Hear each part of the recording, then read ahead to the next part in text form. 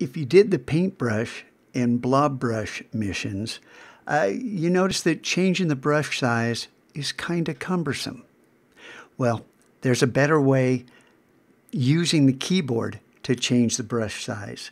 If you look down at the keyboard, the, the QWERTY line, the Q, W, E, R, T, Y, uh, look over the end where the P is, and then there's an opening closing bracket, those square brackets.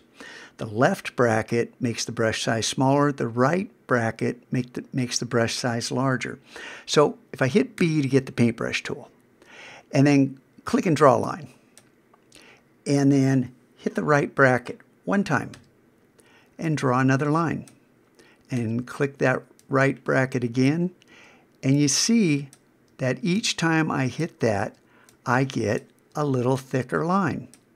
And then if I hit the left bracket, we go back down the list, getting smaller each time.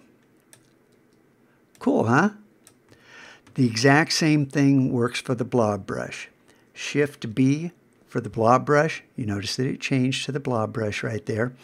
And we draw a line. Right bracket. And these lines are going to look remarkably similar.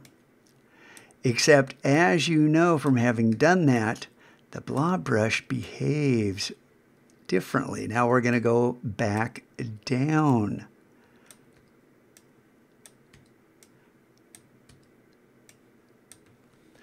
So, selecting a line, we have a stroke, we have a path that has a stroke on it.